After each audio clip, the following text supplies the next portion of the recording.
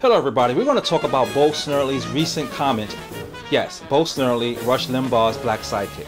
I was thinking this morning that isn't it a shame that for most of the black people, the good old days were the days when things were segregated legally in this country. Bo Snerdley is basically saying that black people were better off when we were segregated, when we were oppressed as a community by the white community. So it takes force for people to do the right thing.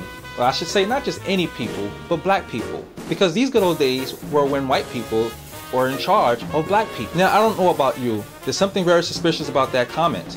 For two reasons. One, he's an African American, and two, he's a conservative. Well, as an African American, he is making a charge against African American culture. He's saying that everything is going wrong with African American culture, and the problem is liberalism. The problem is that we have too much freedom and we don't know how to keep things cool. Well, blaming all the problems of African Americans just on African Americans ignore African American history. It ignores American history. It ignores the fact that uh, African Americans have been sabotaged. Now, as a conservative, I think that his argument is really flawed because, as a conservative, I'm sure he honors Patrick Henry, who said, Give me liberty or give me death.